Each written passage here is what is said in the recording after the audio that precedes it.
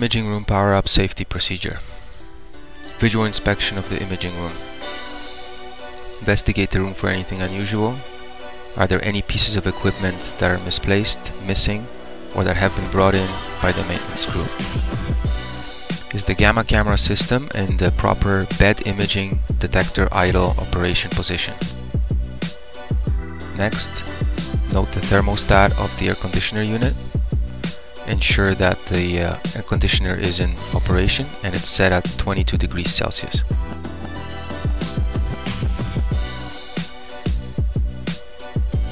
Remove any ancillary equipment near the gamma camera which could pose a risk when the camera is in motion.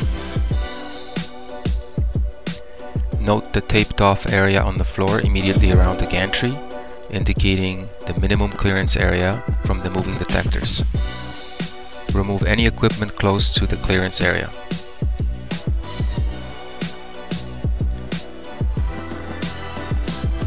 Power up the screens.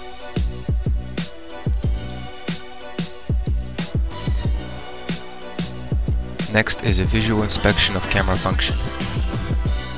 Press all pre-programmed motions menu on the touch screen, the P-scope, and return to the main menu.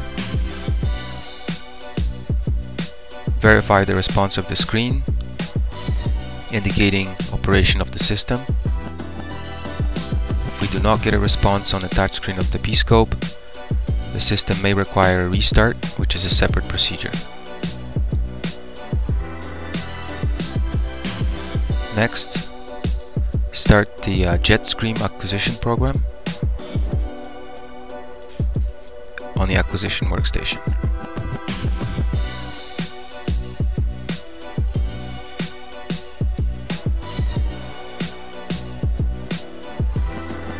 Next is a visual inspection of the detector surfaces. Investigate for any scratches, dents, any damage might have been incurred by the service crew or the maintenance crew.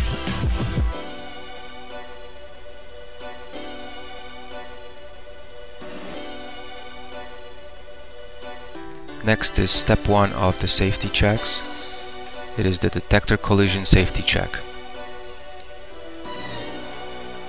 Press the touchpad, safety touchpad on each detector, forcing a collision alert on the system.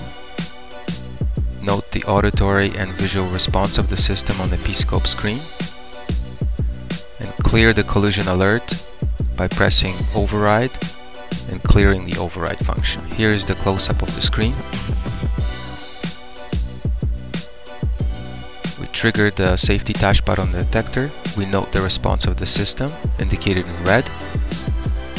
We enter into the uh, collision override function, highlighted in yellow.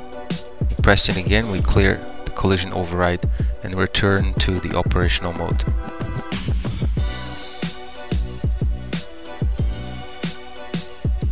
We would require the override function for when, for example, a patient is pressing against the touchpad of the detector we need to move the detector away while the touchpad is being engaged continuously.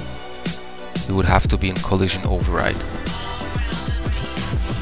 After clearing the patient, we would return to normal operation by pressing collision override again. So after repeating the procedure for each detector, next step is the emergency stop safety system check. There is one button on each side of the gantry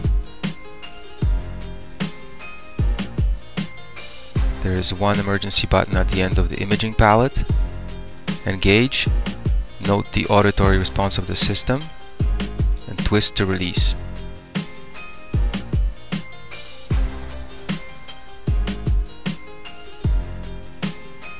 There is uh, another emergency stop button right at the acquisition station and this one is pull out to release.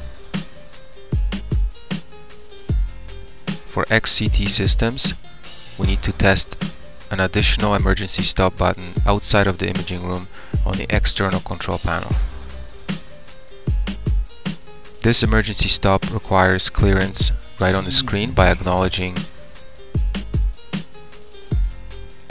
that the emergency stop has been released.